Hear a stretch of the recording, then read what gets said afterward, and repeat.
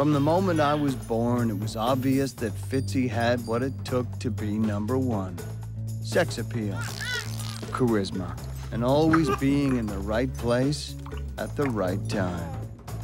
When God gives you this much awesome, you have no choice but to be king. Let's do this. Richard Fitzpatrick isn't just a used car salesman and a bar owner. I'm a fucking leader. And that's why I'm running for city council. Me and my buddies are the species that need to be protected. We need a natural habitat, a place to call our own.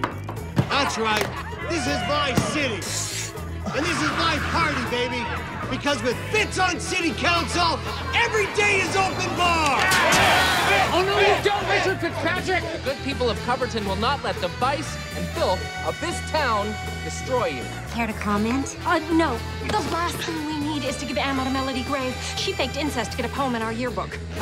Look whose little high school feud is getting in the way of Richard's campaign. Mother. Fuckers. Die, zombie fiend! The gay mafia are after me. I want out of Miami with my Wurlitzer. Ken Fitzpatrick is alive! Welcome to my world, fucker. You really think you're gonna win? You better fucking believe it. You know what I believe? You haven't got a shot now. What are you doing now? What I should have done in the first place. I'm doing it my way. Fitz o'clock, fuckers! I'm gonna give the people what they deserve. No apologies, no excuses. I'm gonna own up to every scandal, every bad thing I've ever done.